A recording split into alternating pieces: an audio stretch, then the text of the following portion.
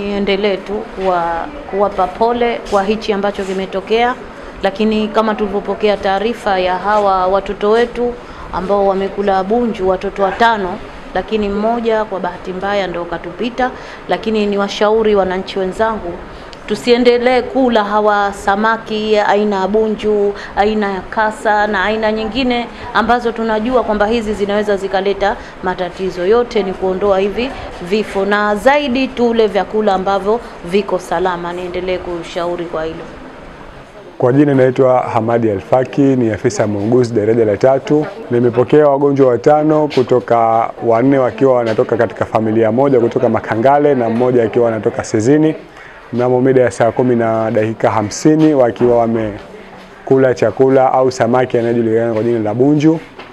Wagonjwa hao baada ya kuwapokea, tumewaendelezea huduma za haraka, mwisho tukamwekea tukawapatia hydrocortisone pamoja na fluid ya DNS NS ambayo ilikuwa ni 500 ml. Hatimaye wagonjwa hao wameendelea vizuri. Pamoja na hayo, namshukuru management ya hospitali ya, ya Micheweni baada ya kupata taarifa hii tumeshirikiana kwa pamoja ukiwepo Dr. Zamana, lakini pili namshukuru Mheshimiwa mkuu wa wilaya pamoja na mkuu wa mkoa kwa utekelezaji wao na utendaji wao imara ambao waliacha shughuli zao za, za majukumu ya kiserikali, lakini wakaweza kuja kuwaona wagonjwa hawa na kuwapa pole na kuwanasihi wa, wananchi wa mkoa wa Kaskazini Pemba ili waache kula samaki au vyakula hatarishi kwa ajili ya afya zetu.